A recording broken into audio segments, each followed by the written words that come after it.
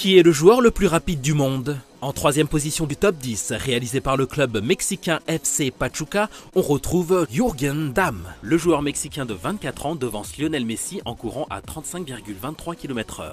Juste derrière lui, à la deuxième place, Orlando Berrio. À 26 ans, l'attaquant colombien pointe à 36 km/h.